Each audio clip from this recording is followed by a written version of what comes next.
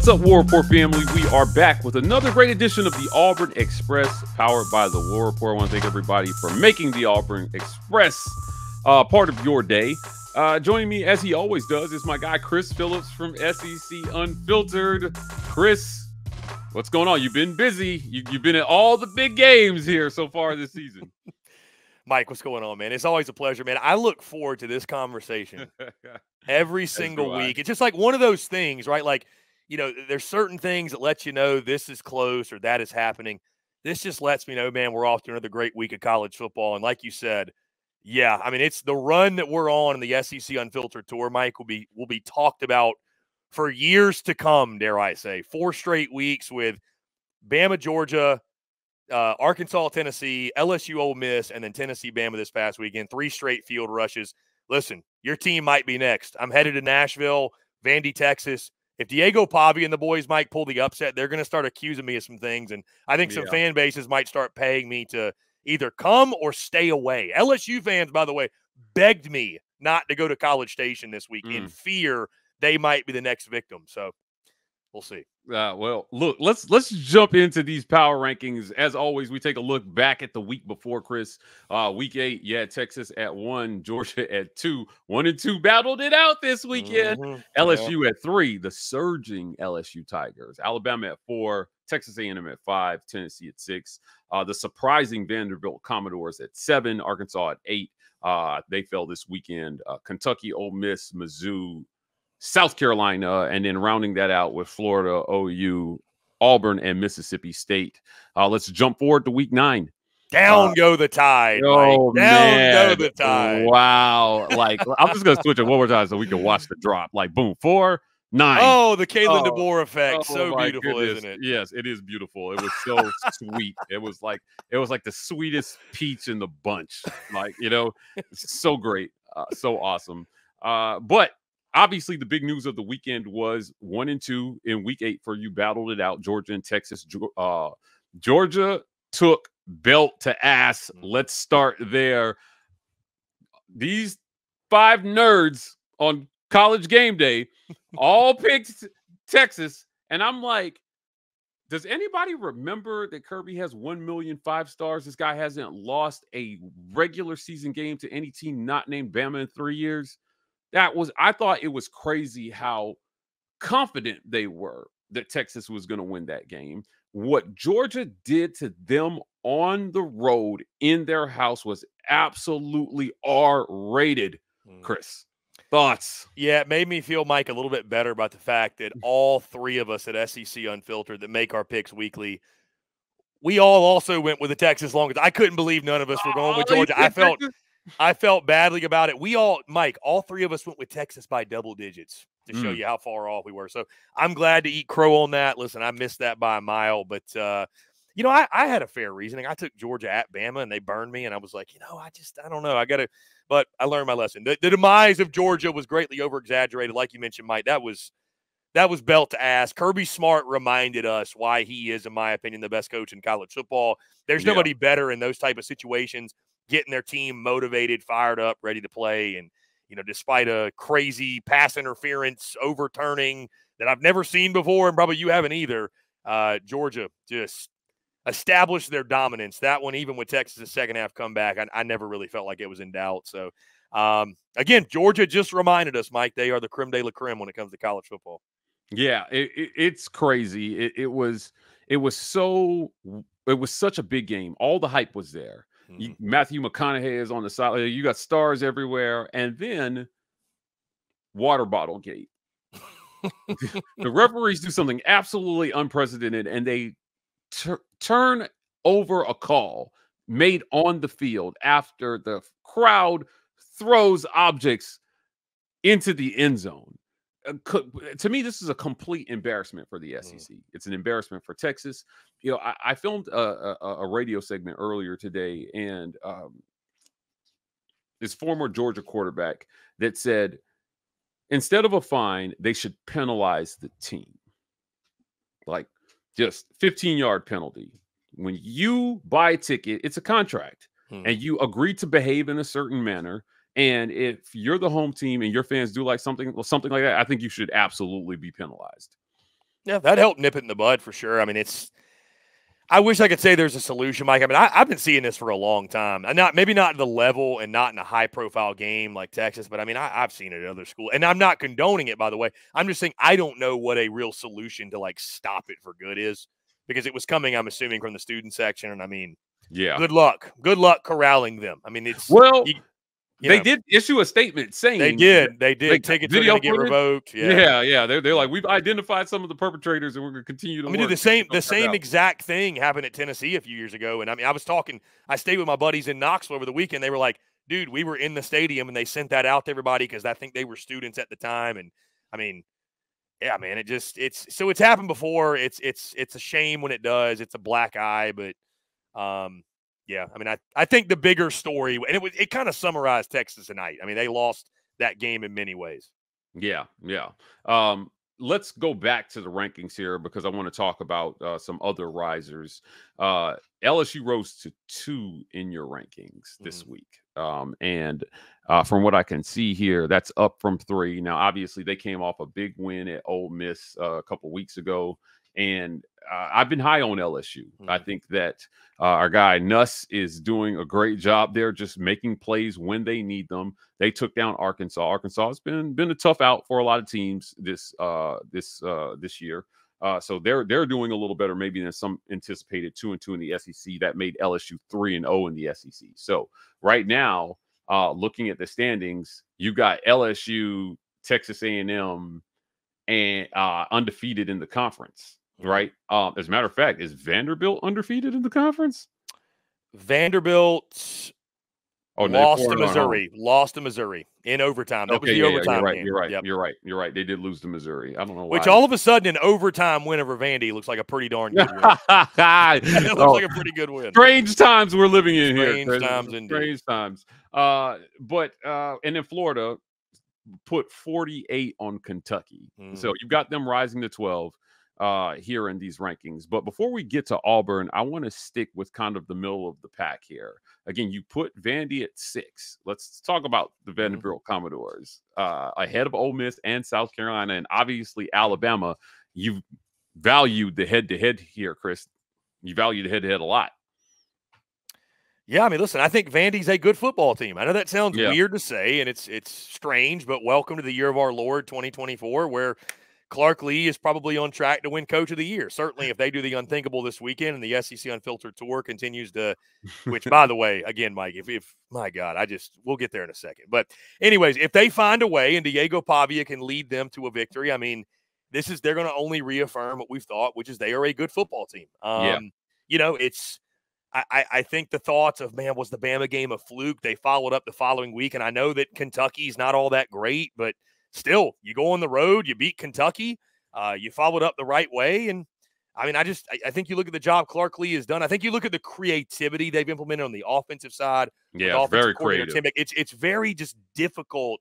It's difficult to stop. It's not something you see normally, and they've got got the right trigger man in Diego Pavia. He doesn't turn the football over. Obviously, a dual threat guy, and I think defensively, the best thing they ever did was Clark Lea taking over the defense. So, I mean, listen, will Vandy? There's probably going to be a lot of movement and volatility in these rankings as there are every single week. Sure. Vandy's going to have an opportunity, but I mean, listen, even they go out there and give Texas a good fight, like I, I don't know how much movement there will be. We'll have to see what happens with the rest of the, you know, rest of the rankings. But I think you look right now on a neutral field, what Vandy has done to this point, Mike, which is what this is, the body of work. I mean, listen, they beat Alabama. Like, there's a lot of teams that have not as good personnel of Alabama that Vandy's ahead of in the power rankings. So you can't tell me they wouldn't have a shot to win on a neutral field. Yeah, putting them where you got them at, at six tells me that that win against Alabama, you no longer see that as a fluke, right? No, like, I, I didn't see it as a fluke when it happened. I thought they whooped their ass, honestly. I mean, I and I know Bama's they fell right in the rankings and they deserve to. And I, I told you, by the way, right last week, you were like, I'm I got a beef with. Hey, listen, when they lost, if they lost, they would fall accordingly because of not just that one loss, but how they've looked last couple weeks. But still, Bama's got personnel. Like I don't I don't wipe away that win because it's like, well, Bama's just total trash. Now, I mean, they got ball players. Like, you yeah. know, for Vandy, so for Vandy to line up and beat them straight up, and yes, they forced some turnovers and they but they lined up and just flat out beat them. So that says a lot to me about Vanderbilt. I do put stock in that. Yeah, I I, I like that. I like that thinking. Um, going back to the rankings here uh, before we move on to the Auburn Tigers, as we always do. Uh, look, uh, Billy Napier's holding it together down in Gainesville best he can. Uh, I have I have no problem. Again, they put 48 on that mm-hmm. Kentucky defense. It's a pretty good defense to move to two and two in the SEC. It's looking like he's it's going to be really tough to justify firing him with this schedule and what's going on in the conference this year. I think I think Napier is one step closer to keeping his job. God, it was seems like just yesterday that they they had called the board of trustees meeting to try to get together the money for his buyout. Um, but uh, the Auburn Tigers are at the bottom here. Before we get to them, Chris, though, uh, a quick word from our sponsors. This episode of the Auburn Express is brought to you by our friends at Joy Mode. Uh, if you're an Auburn fan, there may not be a lot of joy in your life, Chris, but Joy Mode has you covered. uh, so no matter how you choose to get over Auburn losing, uh, maybe it's in the bedroom. And Joy Modes packets uh, will give you a little extra oomph for the boom boom after the loss. Uh, visit tryjoymode.com and use code report for 20% off free shipping. Now, what is Joy Mode? Uh, imagine a supplement like your favorite greens packet that you can put in six to eight ounces of water 45 minutes before you do the deed. And then, bam, 45 minutes later, you're ready to do the magic. Joy Mode has you covered. We appreciate them for sponsoring the show. Again, try joymode.com and use code report to get 20% off plus free shipping. Chris, bring, bring a whole new meaning to find some joy. Listen, I don't judge. I don't judge. Neither uh, do I. Um, Chris, you got Auburn last, bottom of the league here. Now, uh, before we started recording, we both noted that the roster is probably better than the ranking. Absolutely is better. But Absolutely. the results matter here. Mm-hmm. Thoughts? Yeah, first thing I, I told you this off air, Mike. I, I, hope all the great Auburn folks tuned in don't take it personally. um, because I think there's certainly a conversation to be had with Auburn and Oklahoma right now, but we did witness that game. Uh, in first person, and I think Auburn probably you could argue should have won that game, but they didn't. And that's kind of the story Auburn this year. They they they shouldn't be ranked 16th. They should have beat Oklahoma. They probably should have beat Mizzou. Yeah, I mean, you let a guy that was in the hospital for 85 percent of the game come back and beat you in a. I mean, uh, hold on, timeout. Pause. Was he? Was he not? He went to the hospital. They he went to the hospital. They, they, gave him the good shit at the hospital and came back. Reports are it was a high ankle sprain. No way bro comes back from a high ankle sprain unless maybe he took joy mode. maybe he took joy mode. I don't know. I, they do have a, a, thing in there about athletic performance. Like it's not just for I'm just saying. Yeah, just but, saying. Uh, uh, look, yeah, I mean, I it's just Auburn's just finding ways to lose. They're just I don't trust that Auburn against anybody. And you got the game against Kentucky this weekend, Mike, and mm-hmm. you know just to spoil it. Spoiler: I've gone on record and I'm, I'm, I'm picking Kentucky. I just I I just I, I don't. It's probably going to follow the it. same script. If you get to the end, close game, and it's at this point, it. I think it's so mental, Mike, where it's like everybody probably whether you know on purpose or inadvertently they're expecting something bad to happen. And I yeah. hate that. I hate that for Auburn. I hate that for the players more than anything because I've been part of a bad team, by the way. Side note, Mike, like I played on I played college baseball, D2, whatever. But I mean, I played on a team that was terrible. And when you get like that late in a season, and it's like, man, you're just you're expecting the worst and you're so ready for it to be over with. And I mean, yeah. you just you hope that's not the mentality in the locker room. But man, these are human beings. Like at some yeah. point, you're just like, well, here we are again. Can't wait to see how we blow it this week. Yeah. So, look, uh, four straight losses. A, a, loss to Kentucky would make five straight losses. Uh, they will not have won since New Mexico. Auburn has not beat a Power Four team yet this season, Chris. Uh, so it's tough going for the Tigers right now. Now, I picked Missouri. I was the only one that had the courage in my camp to pick Missouri. I said, look, um, I want to pick Auburn. I believe they can win this game. I would not be surprised to see them win this game. But when you're finding ways to lose at the ends of games, it's tough. And I think it's even more disappointing because you had an extra week to prepare. This was you came off a bye week. And again, in critical situations, you can execute your offense. Now, I will say this late in that game, Payton Thorne made a pass that would have won the game. Mm. Uh, the ball went right through Robert Lewis's hands. He's a transfer wide receiver from Georgia State. He absolutely has to catch that pass. Hugh Freeze talked about it at the press conference this morning that if that ball is caught, the game's over because you lost 21 17 and that would have put you up 24 uh, to not enough at that point, right? 13, I think they had. So it, it was it was really really difficult and, and, i don't like to beat down on kids but he, he's got to catch that pass. The same way the kicker comes in and then misses the chip shot field goal right after that. So you drive the ball down the field your quarterback that's been struggling a little bit does the job on the road. He gets you in scoring position he makes the good pass and then you cannot make the catch. Uh, to me the, the, the issues go deeper. I think this is not really a, this is more than just a personnel issue it's a coaching issue. When you're finding ways to lose. And it's this widespread. It's your kicker, it's your wide receivers, it's your quarterback, it's your offensive line. Defensively, Auburn has yet to give up 400 yards to a P4 opponent. And they're losing games. Mm-hmm. You held Georgia to 381, right? Like that's that's that's good in, in today's college football. We know what Carson Beck and those boys can do when they get going. Look what they did to Bama's defense. Put up 500 yards on those guys in their house. You held them to 381 and you lost. Auburn scored 10 points offensively in this game, even though they lost um, 21 to 17. So it should be noted that special teams contributed. And if you're only going to score 10 points, I, I don't blame you for picking Kentucky. Mm-hmm. I don't. I think that that's where they're at. You, you do. I, will say though, Mike, looking at that game, Kentucky might be in just as much disarray as you are with the way their season's going. I mean, since yeah. that old since that Ole Miss win, they've just kind of it's like they just packed it up and took a vacation. I don't know what's really happened. So, uh, you know, you just you hope the guys in the locker room with Auburn, the, the, the leadership is there to keep things positive, to stay together. Hopefully, you run into that breakthrough moment, and then you know, it turns the it turns the mentality of the rest of your season that there are some there are some SEC wins maybe to be had, or just some wins to be had down the stretch. Because obviously, yeah. I mean, Mike, it goes without saying, as the, as the losses pile up, man, it just it gets tougher and tougher to rebound from it. And I, I, agree with you though, Mike. It's you know how you know it's deeper than personnel because this personnel isn't two and five personnel. It's it's it's, coaching. It goes so far beyond the talent. Uh, agreed. So really quickly before we get out of here, again, you're picking Kentucky. Give me a score. The score I went with in the game, I will go 24 to 20.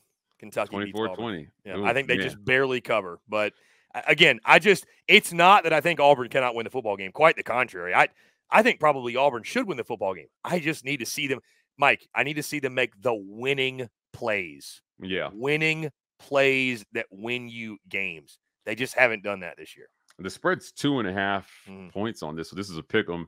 And the matchup predictor on ESPN is essentially following the the the odds here and saying, look, they're giving Kentucky a 51.4% chance to win at home. Again, essentially that's a coin flip.